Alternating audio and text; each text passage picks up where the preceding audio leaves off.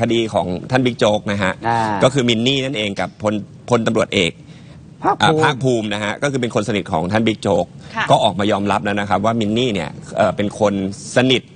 ในระดับหนึ่ง ซึ่งรู้จักกันทางแม่ก็คือแม่เนี่ยเป็นนักนักการเมืองท้องถิ่น ค่ะ ซึ่งรูปที่มันออกมารูปเนี้ยก็เคยเตือนแล้ว บอกว่าพยายามลงรูปโซเชียลให้น้อยๆหน่อย ใครเตือนเธอเตือนเหรอภาคภูมิพี่ตำรวจพี่พี่ตำตำรรววจจภาคพี่ภูมิตำรวจก็เตือน เขาเตือนแล้ว เออ แต่ก็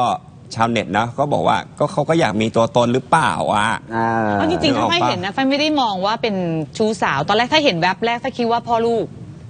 ก็ก็จริงๆมินนี่อายุประมาณ 24เอง อ๋อ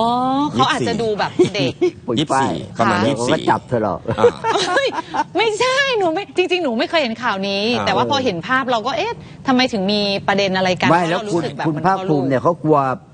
กลัวภรรยาที่บ้านนะว่าว่าอ๋อเห็นภาพอะไรอย่างคือนี้หรือเขาเปก็ล่า บอกว่าพยายามลงรูปน้อยๆเพราะว่ากลัวภรรยาที่บ้านเห็นซึ่งอันเนี้ยมีนัยยะอะไรไม่รู้ ผมก็บอกไม่รู้ว่ามีนัยยะอะไรเกี่ยวกับเกี่ยวกับตัวเขาหรือเปล่า อันนี้บอกบอกไม่ได้ว่ามีนัยยะอะไรแต่ห้ามแล้ว แล้วก็คุณมินนี่เอ่อก็ยังยังฝืนลง ตอนนี้มันชาวเน็ตเขาก็เลยตั้งข้อสงสัยว่า เอ๊ะกลัวภรรยาเห็นหรือเปล่า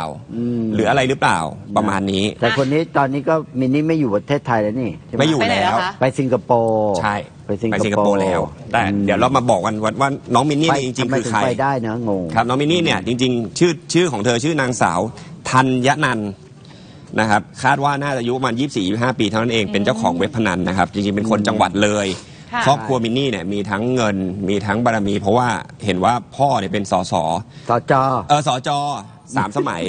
แล้วก็จริง ๆ มีมีบุตรแล้ว มีบุตรแล้วแล้วตอนนี้เป็นแม่เลี้ยงเดี่ยวค่ะ นะครับนะครับไลฟ์สไตล์ตอนนี้ก็แอบติดหรูหรานิดนึงนะครับ ก็ไป ไปต่างประเทศบ่อยๆ ใช้แบรนด์เนม ใช้อะไรอย่างเงี้ยชอบมีรถทำกิจอะกไรรรมนะรถอะไรนะ เขาบอกรถหรูเยอะมาก แล้วก็ใช่ หมู่บ้านที่อยู่ หมู่บ้านที่ที่ตำรวจเข้าไปยึดเนี่ยเป็นหมู่บ้านหลังที่แพงที่สุด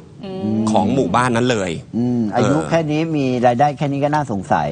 แต่เขาเขาสงไม่ต้องสงสัยแล้วนี่เรื่องจริงแล้วนี่ใช่ไหม ก็ก็น่าจะน่าจะอันนี้คือศาลยังไม่ได้ตัดสินว่าเขาเขายังไง แต่ว่าก็ก็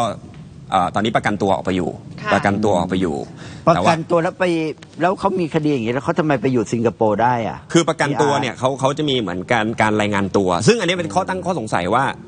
น้องมินนี่เนี่ยรู้จักกับตำรวจท่านนี้หรือเปล่าถึงได้ประกันตัวเกิดขึ้นค